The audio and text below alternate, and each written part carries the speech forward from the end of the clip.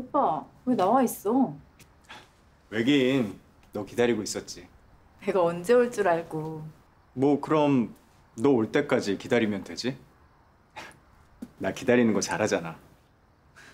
오빠도 참 근데 오늘 무슨 일 있었어? 아까 본부장실 다녀온 뒤로 표정이 계속 어둡던데. 아니야 아무 일도 없었어 밥은 밥 먹었어? 아니 아직 아, 아직까지 밥도 안 먹고 뭐 했어? 가자. 오빠가 맛있는 거 사줄게. 자. 어. 얼른.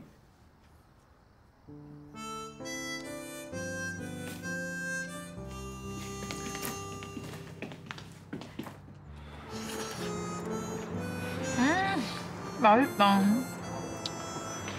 내가 맛있는 거 사준다니까. 여기 있잖아 맛있는 거 난 라면이 제일 맛있더라 특히 이 편의점 라면 라면이 제일 맛있다고? 세리나, 너 라면 싫어하던 거 아니었어?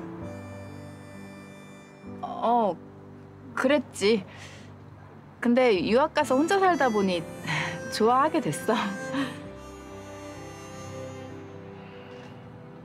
오빠도 얼른 먹어 다 불겠다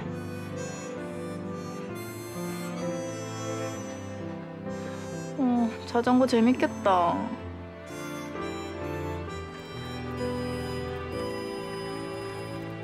그럼 우리 이거 다 먹고 자전거도 타러 갈까?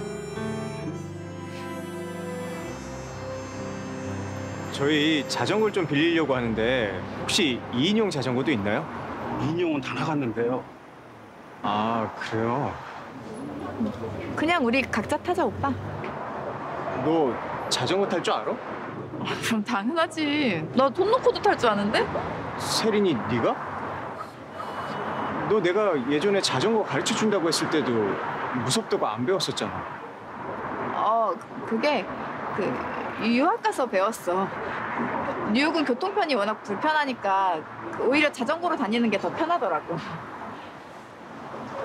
오빠, 우리 얼른 타자. 1인용으로 주세요.